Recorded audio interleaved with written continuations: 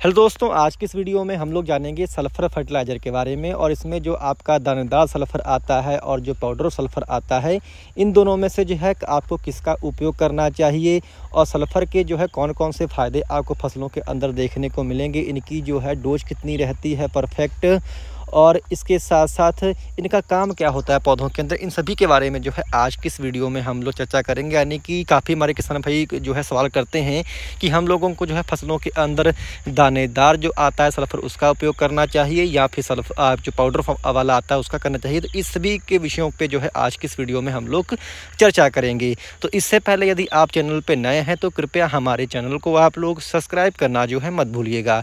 किसान भाइयों, जो आपका सल्फ़र फर्टिलाइज़र है, ये आपका द्वितीय पोषक तत्व है, जो आपके प्राइमरी पोषक तत्व हैं, वो तो आपके नाइट्रोजन फास्फोरस और पोटेशियम है। और जो आपका द्वितीय पोषक तत्व है, जैसे कि आपका कैल्शियम है मैग्नीशियम है और सल्फ़र यानी कि आपका जो है, ये जो सल्फ़र होता है, ये पौधों को जो है चाहिए चाहिए होता है, इसके बिना जो है आपके पौधे जो हैं, वो अच्छी ग्रोथ जो है, वो नहीं कर पाते हैं। तो सल्फ़र जो होता है, किसान भाइयों, काफ़ी किसान भाई जो हैं, बुआई के समय डालते हैं। तो वैसे तो अगर सही देखा जाए कि जो सही समय है सल्फ़र डालने का, वो बुआई के समय ही होता है। यदि आप जो बेसल डोज जब आप डालते हैं, जो अन्य खाद्य डालते हैं, उसी में मिलाकर जो है आप सल्फ़र जो है नीचे डाल सकते हैं। और यानी यदि काफ़ी किसान कहते हैं कि हमें सल्फ़र जो है कौन सा डालना चाहिए? यानी कि दानेदार डालना चाहिए या फिर हमें पाउडर वाला डालना चाहिए?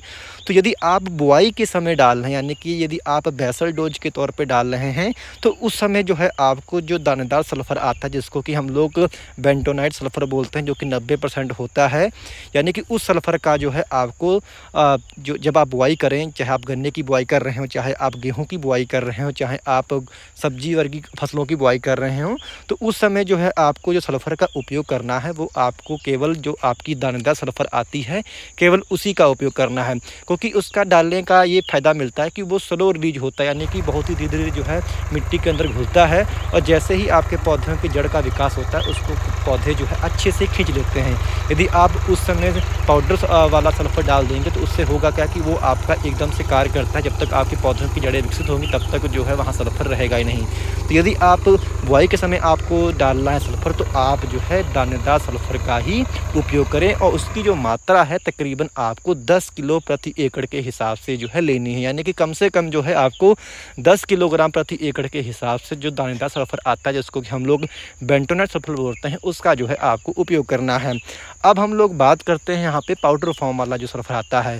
तो पाउडर फॉर्म वाला जो सल्फ़र है, इसका आपको जो उपयोग करना है, इसको जो है आप खड़ी फ़सल के अंदर उपयोग करें। यानी कि जब आपकी फ़सल बड़ी हो जाए, तब जो है आप इसको टॉप ड्रेसिंग के माध्यम से, यानी कि जो है आप अन्य खादों में मिलाकर बड़ी फ़सलों के ऊपर जो है आप इसका उपयोग करेंगे तो आपको जो है इसका रिज़ल्ट तुरंत मिलेगा। जो आपका दानेदार सल्फ़र होता है, इसका रिज़ल्ट जो है आपको हल्का लेट में मिलता है, यानी कि इसका जो रिज़ल्ट है धीरे धीरे मिलता है, क्योंकि ये स्लो जो है रिलीज़ होता है, परंतु जो आपका पाउडर वाला जो सल्फ़र होता है, इसका रिज़ल्ट आपको तुरंत मिल जाता है, यानी कि आपको जब आपकी फ़सल बड़ी हो जाए, और तब जो है आपको पाउडर फॉर्म वाला जो है सल्फ़र का उपयोग करना चाहिए। उसकी जो मात्रा है तकरीबन आपको पाउडर वाले की तकरीबन आपको तीन से लेकर के चार किलो प्रति एकड़ के हिसाब से लेनी है। यानी कि जो आपका दंदा सल्फ़र था, उसकी मात्रा तकरीबन आपको दस किलो प्रति एकड़, जो आपका पाउडर फॉर्म वाला सल्फ़र है, इसकी मात्रा जो है तकरीबन आपको तीन से चार किलो प्रति एकड़ के हिसाब से रखनी है। अब ये बात आती है कि इसका काम क्या होता है सल्फ़र का। तो जो हमारे पौधों की जो नई कलिकाएँ बनती यानी कि बिल्कुल जो ऊपरी पत्तियाँ होती हैं, उनमें जो पीलापन आता है, वो सल्फ़र की कमी से ही आता है। यानी कि अच्छी हरियाली के लिए जो आपकी नई कलिकाएँ हैं, जो आपकी नई पत्तियाँ निकलती हैं, उनकी अच्छी हरियाली के लिए जो है सल्फ़र का उपयोग किया जाता है। और इसके साथ साथ जो आपका सल्फ़र होता है, ये बहुत सारे अन्य फ़ायदे भी जो है करता है, क्योंकि ये एक नेचुरल फंगी साइड का भी कार्य करता है नेचुरल माइटी साइड का भी जो है आपका सल्फ़र पौधों के अंदर कार्य कर कर देता है। और इसके साथ साथ के साथ जो आपकी कंद वर्गीय फ़सलें होती हैं, जैसे कि आपका आलू है, उसमें स्टार्च की मात्रा को बढ़ाता है। जो आपकी दलहन वर्गीय फ़सलें हैं, जैसे दालें हैं, उनमें जो है ये प्रोटीन का जो है निर्माण अच्छे ढंग से करता है।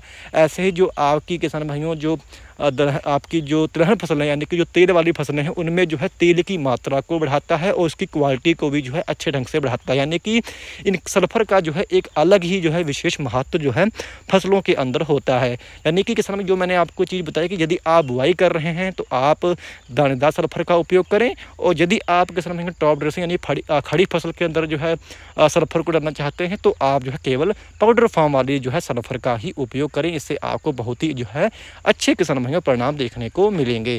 तो ये थी जानकारी सल्फ़र फर्टिलाइज़र के बारे में। यदि आपको जानकारी पसंद आई हो तो कृपया हमारे चैनल को आप लोग सब्सक्राइब करना जो है मत भूलिएगा। धन्यवाद।